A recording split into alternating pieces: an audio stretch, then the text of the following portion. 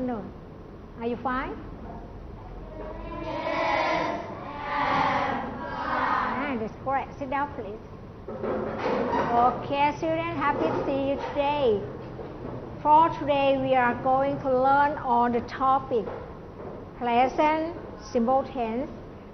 Let's welcome everybody to Times of Word Fun.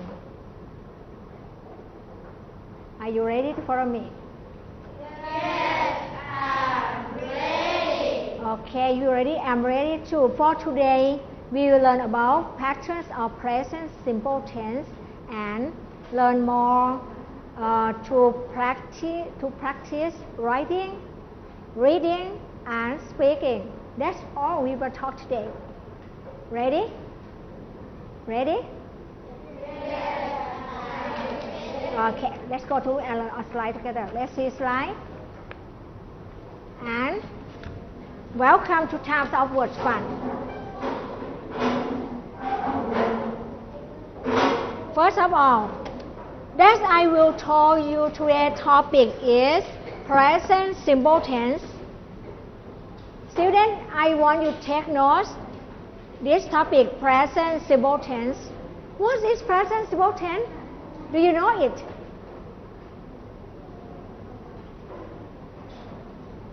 Present simple tense นักเรียนเคยได้ยินไหมคะชื่อนี้ ไม่เคยเลยเหรอ Present simple tense คือประโยคส่วนใหญ่ที่นักเรียนเห็นในชีวิตประจำวัน tense ตัวนี้แปลว่าเหตุการณ์ เหตุการณ์ที่มัน simple ก็คือเหตุการณ์ที่ present คือปัจจุบัน เหตุการณ์ที่เกิดขึ้นในปัจจุบันที่นักเรียน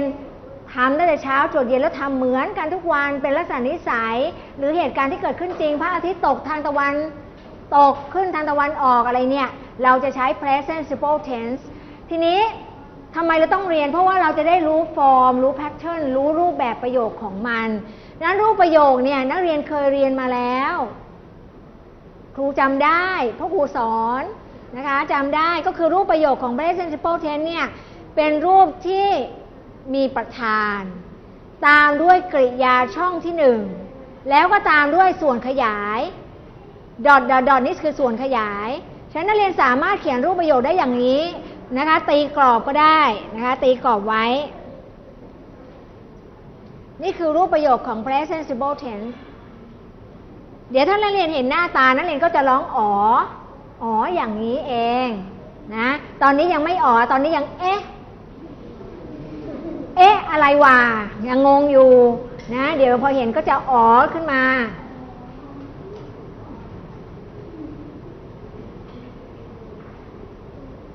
ผ่านได้หรือยังคะ นักเรียนสังเกตนะ ตรงนี้ต้องจำนะคะ รูปประโยคของ participle tense ก็คือประธาน ตามด้วยกริยาช่องที่หนึ่งแล้วก็ตามด้วยส่วนขยายตรงเนี้ยจุดสองจุดเนี่ยส่วนขยาย ถ้านักเรียนอยากจะให้ชัดเจนนักเรียนก็เขียนไปว่าส่วนขยาย เพราะว่าสไลด์คงไม่พอ นักเรียนก็เขียนว่าส่วนขยายนะคะส่วนขยายหรือส่วนเติมเต็มโอเคนะคะ ผ่านได้หรือยัง เนี่ยเอาภาษาอังกฤษนิดนึงวงเล็บประธานในภาษาอังกฤษเรียกว่า subject นักเรียนไม่ต้องวงเล็บแบบครูหรอกค่ะนักเรียนวงเล็บใต้คำว่าประธานว่า subject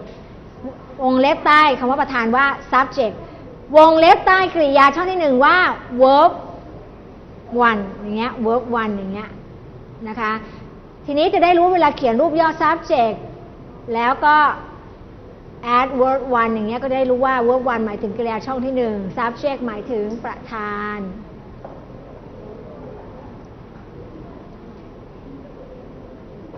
ด้านนู้นว่าไงคะ มีอะไรสงสัยคะ ใครสงสัยยกมือ ถามครูจะถามเพื่อนกันเอง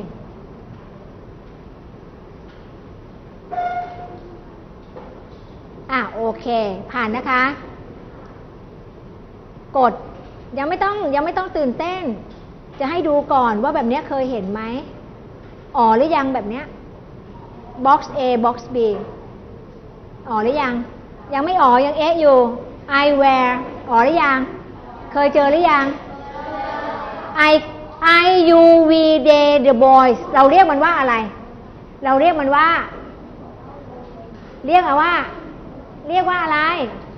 ตามรูปประโยคอะเราเรียกว่าอะไร ประธาน เรียกให้ไฮโซหน่อย เรียกภาษาอังกฤษเรียกว่า subject subject ส่วน where where where where where นี่มันเป็นอะไร เป็น เป็นกริยาหรือ verb one ใช่ไหมเป็นกริยาหรือ verb one หรือถ้าเราเรียกกันเขาเรียกว่า infinitive ก็ได้ เห็นไหมรูปประโยคคือประธานตามด้วยกริยาช่องที่หนึ่งแต่ถามว่าทำไมครูต้องมีสองช่อง ใครยังจำได้ เคยให้ดูแล้ว เพราะว่า box B มันแตกต่าง ประธานเปลี่ยนหน้าตาไป แล้วก็ verb เปลี่ยนหน้าตาไป ใช่หรือไม่ ใครสรุปกฎนี้ครูได้บ้าง จากที่เคยเรียนไปแล้ว สรุปได้ว่า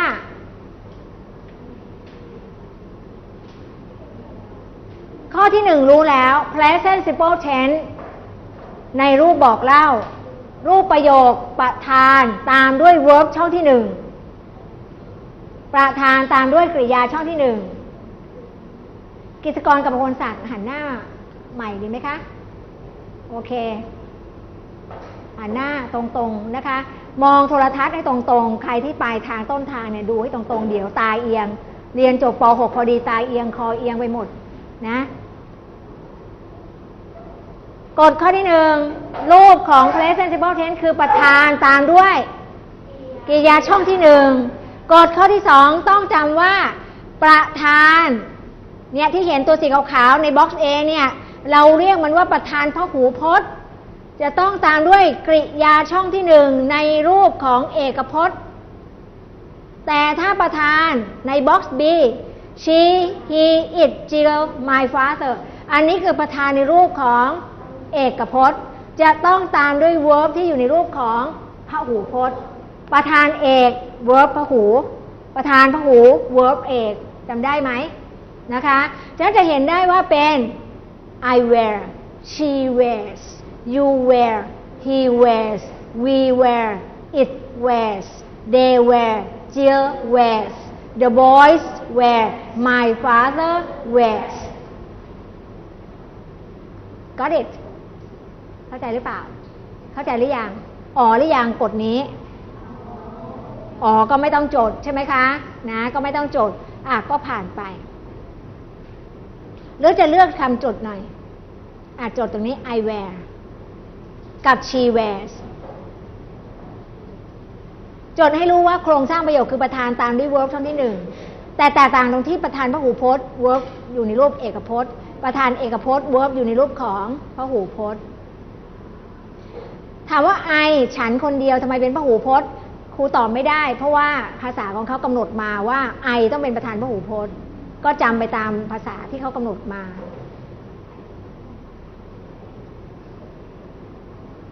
อะเรียบร้อยไหมคะ จุดจุดจุดตรงนี้คืออะไร คือส่วนขยาย I wear a shirt I wear a red shirt I wear a green hat อะไรอย่างเงี้ยนะคะ บอกให้รู้ว่าสวมใส่อะไรนั่นเอง ผ่านนะคะ อ่าทีนี้ไปดูนิดหนึ่งต้องจำอันนี้นักเรียนก็น่าจะจำได้แล้ว เคยเรียนไปแล้วใช่ไหม การเติม s หรือ es ที่ท้ายคำกริยาดูซิจำได้ไหม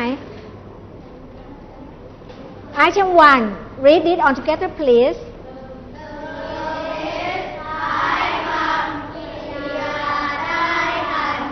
เออกลุ่มนี้มีเยอะมากขอบอก คือเติม s ท้ายคำกริยาได้ทันที อย่างเช่นคำว่า run จะกลายเป็น runs right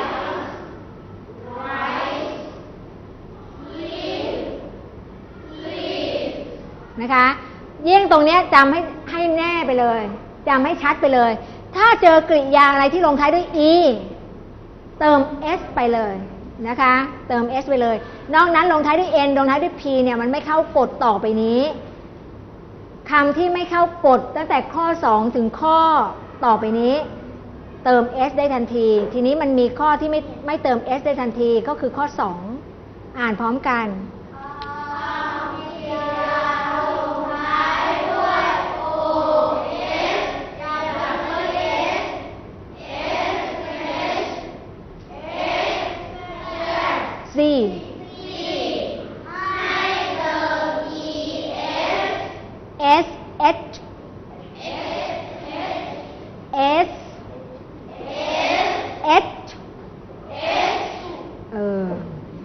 ต้องฉุดัง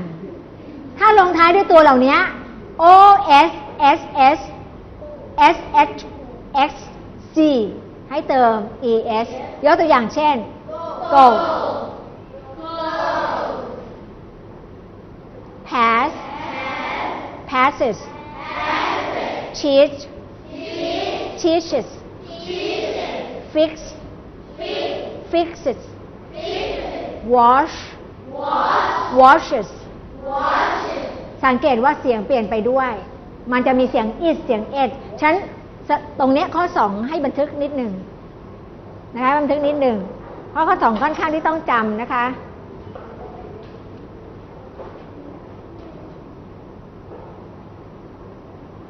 ตรงนี้นักเรียนไม่ต้องเพียรพยายามวาดรูปนิ้วนะคะ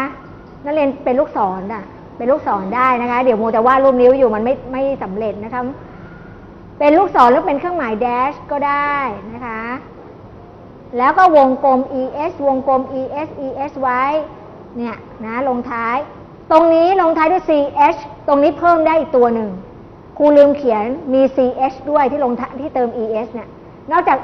sh ยังมี ch อีกเห็นไหมคะ มี ch ด้วย แล้วเวลาออกเสียงต้องออก is หรือ s passes teaches fixes watches นะ glasses อะไรอย่างเงี้ยนะคะนั้นเป็นข้อเดียวที่มันแตกต่างจากข้ออื่น คือเวลาอ่านก็แตกต่าง เวลาเติมก็แตกต่าง แต่ว่าตัว go เนี่ยมันไม่มี go it